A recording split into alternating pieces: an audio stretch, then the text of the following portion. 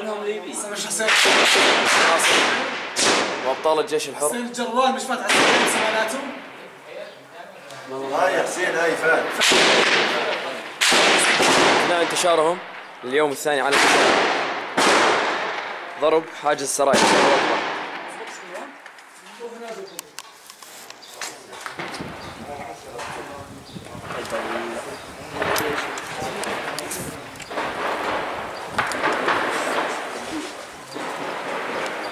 السرايا اعلامي راح لقدام